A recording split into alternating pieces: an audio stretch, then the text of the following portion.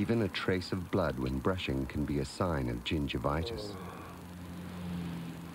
A gum disease that affects two out of three Australians. But Listerine goes beyond brushing to kill germs that cause gingivitis, leaving you with healthier gums. Listerine, it's dynamite against germs.